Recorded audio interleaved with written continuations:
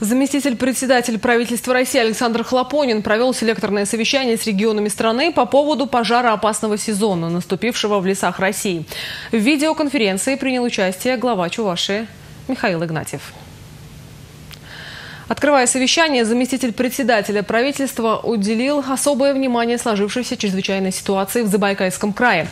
В этом контексте важно понять, насколько обеспечены регионы спецтехникой к предстоящему пожароопасному сезону и получили ли компенсацию пострадавшие от пожаров в прошлые годы субъекты Федерации.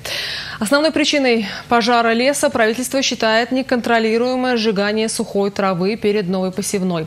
В связи с чем от МЧС поступило предложение в полном запрете сжигания травы в регионах. Чувашская республика к пожароопасному сезону готова. Утверждены планы тушения, отработаны вопросы привлечения сил и средств МЧС и ГКЧС в случае ЧП, проложены маршруты наземного и воздушного патрулирования лесов. Составлен график проведения тактических учений. Проверена готовность более чем 100 единиц техники.